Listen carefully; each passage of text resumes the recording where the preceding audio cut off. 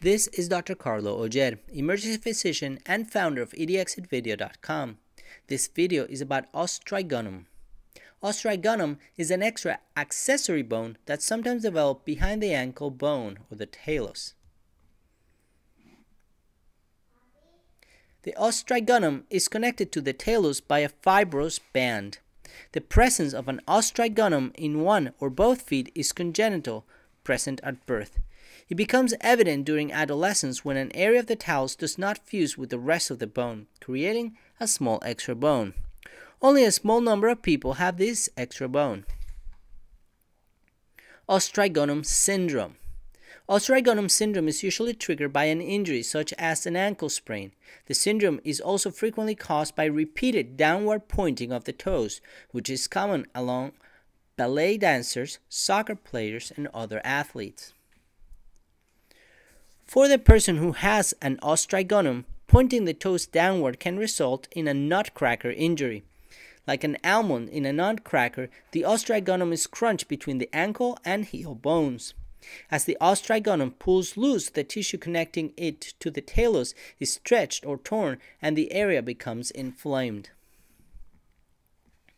The signs and symptoms of os trigonum syndrome may include deep aching pain in the back of the ankle, occurring mostly when pushing off on the big toe, as in walking, or when pointing toes downward, tenderness in the area when touched, swelling in the back of the ankle.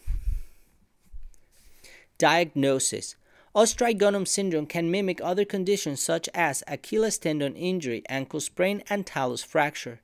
Diagnosis of an os syndrome begins with the questions from the doctor about the development of the symptoms. After the foot and ankle are examined, x rays or other imaging tests are often ordered to assist in making the diagnosis. Non surgical approaches to treatment rest, ice, immobilization, oral medications, and injections. It is important to stay off the injured foot to let the inflammation subside. Often, a walking boot is used to restrict ankle motion and allow the injured tissue to heal. Swelling is decreased by applying a bag of ice covered with a thin towel to the affected area. Do not put ice directly on the skin.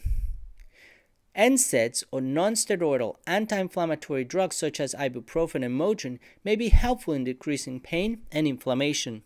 Sometimes cortisone is injected into the area to reduce inflammation and pain. When is surgery necessary? Most patients' symptoms improve with non surgical treatment. However, in some patients, surgery may be required to relieve the symptoms. Surgery typically involves removal of the os trigonum, as this extra bone is not necessary for normal foot function.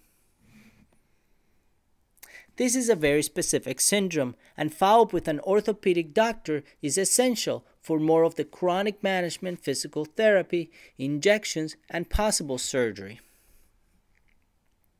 If you have increasing pain, fever, um, swelling of the area, redness or warmth of the ankle, or any progression of pre existing symptoms, please see your doctor or come to the emergency department.